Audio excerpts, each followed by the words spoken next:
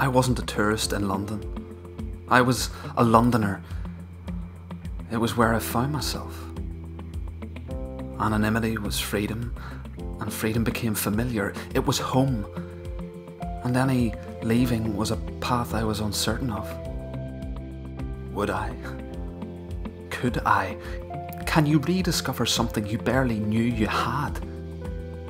And when you feel distant from what is supposed to be familiar, where exactly do you belong?